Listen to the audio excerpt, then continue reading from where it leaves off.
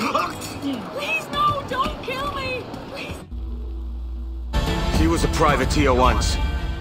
How is it you lack so much respect for sailors only trying to make their way in this world? You couldn't possibly understand my motives, cretin!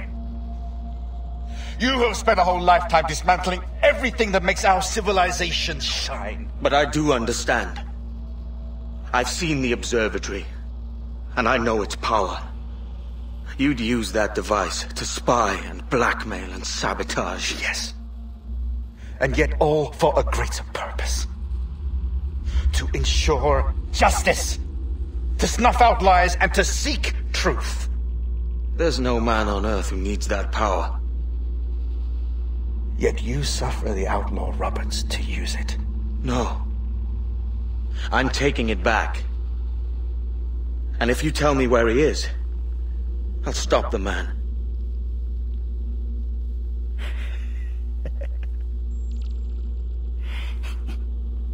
Here at the edge of a blade, I find a friend in you at last.